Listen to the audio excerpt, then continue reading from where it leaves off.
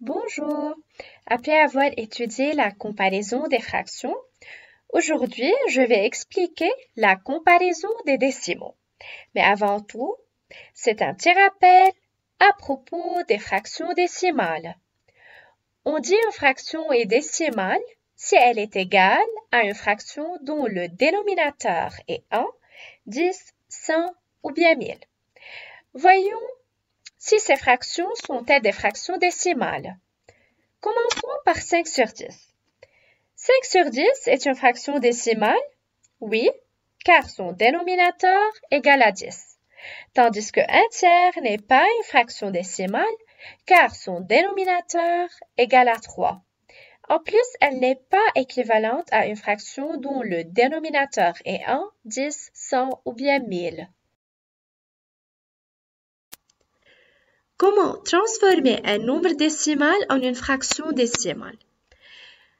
Commençons par 13,5. Dans 13,5, il y a seulement un seul chiffre après la virgule, alors mon dénominateur doit être égal à 10, qui contient un seul zéro. Pour trouver le numérateur, je déplace la virgule une seule fois de gauche à droite.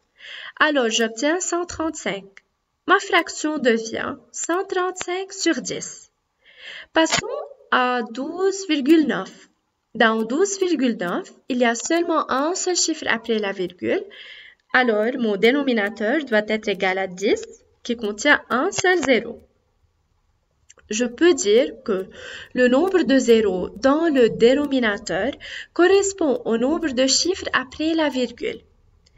Pour trouver maintenant le numérateur, je déplace la virgule une seule fois de gauche à droite. Alors j'obtiens 129. Ma fraction devient alors 129 sur 10. Après avoir trouvé les fractions décimales, je peux les comparer maintenant. 135 sur 10 est plus grande que 129 sur 10 car 135 est plus grand que 129. Je peux déduire alors que 13,5 est plus grand que 12,9.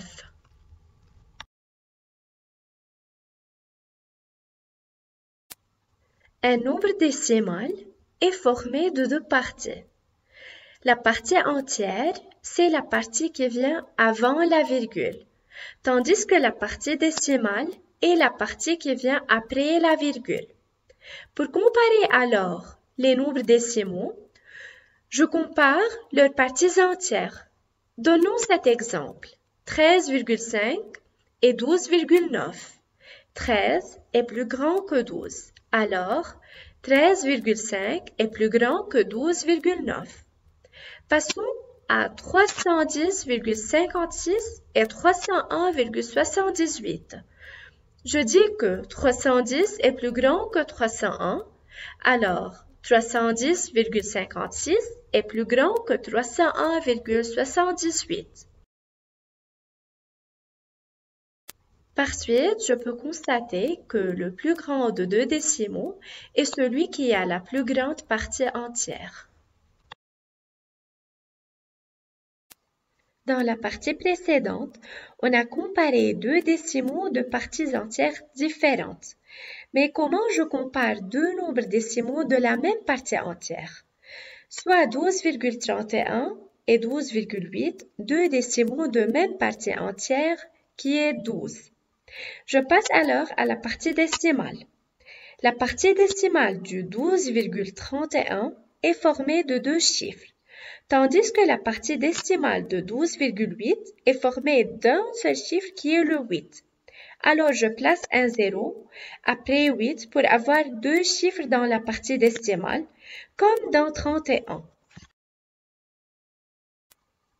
Pour trouver la fraction décimale qui est égale à 12,31, je choisis comme dénominateur égal à 100 qui contient deux zéros comme le nombre de chiffres après la virgule. Pour trouver le numérateur, je déplace la virgule deux fois de gauche à droite. J'obtiens alors 1231. La fraction décimale devient 1231 sur 100. Passons maintenant au deuxième nombre décimal, 12,80. 12,80 contient deux chiffres après la virgule. Alors, le dénominateur doit être égal à 100 qui contient deux zéros. Pour trouver maintenant le numérateur, je déplace la virgule deux fois de gauche à droite. J'obtiens alors 1280. Alors, la fraction décimale est 1280 sur 100. Comparons maintenant les deux fractions décimales. 1231 sur 100 est plus petit que 1280 sur 100 car 1231 est plus petit que 1280. Par suite, si deux décimaux ont la même partie entière, le plus grand est celui qui a la plus grande partie décimale. Après avoir réduit ces parties décimales au même nombre de chiffres en plaçant les zéros nécessaires. Voici un autre exemple. Compare 12,5 et 38 sur 3. Il faut transformer tout d'abord 12,5 en une fraction. 12,5 contient un seul chiffre après la virgule, c'est-à-dire le dénominateur doit être égal à 10. Pour trouver le numérateur, je déplace la virgule une seule fois de gauche à droite. J'obtiens 125. Alors la fraction devient 125 sur 10. Pour simplifier 125 sur 10, je divise par 5 car 125 et 10 sont divisibles par 5. J'obtiens comme réponse 25 sur 2.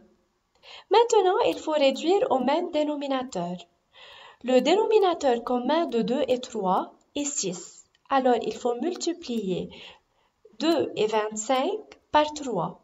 J'obtiens alors 75 sur 6. Passons maintenant à la deuxième fraction. Pour réduire au même dénominateur, qui est le 6, je multiplie le numérateur et le dénominateur par 2. J'obtiens alors 76 sur 6. Maintenant, je compare 75 sur 6 à 76 sur 6. J'obtiens que 75 sur 6 est plus petit que 76 sur 6. Je passe maintenant à une autre idée. Pour insérer par exemple trois nombres à deux décimales entre 6,4 et 6,5, qu'est-ce que je fais? Tout d'abord, j'ajoute ou bien je place un zéro à côté de 4 et à côté de 5 pour obtenir euh, des parties décimales euh, formées de deux chiffres. Maintenant, je veux insérer euh, des nombres décimaux dont leur partie décimale est entre 40 et 50. Je peux choisir par exemple 6,41, 6,42 et 6,48. Passons à la dernière idée. Arrondir un décimal. Arrondir un décimal à l'entier signifie donner l'entier le plus proche. Si le chiffre des dixièmes est 5 ou bien plus grand que 5, on prend l'entier qui vient juste après. Par exemple, 1,6. 6 est plus grand que 5, alors l'entier le plus proche à 1,6 est 2. C'est-à-dire, c'est l'entier qui vient juste après, après 1. Passons à un autre exemple, 0,1. 1 est plus petit que 5, alors l'entier le plus proche à 0,1 est 0 lui-même.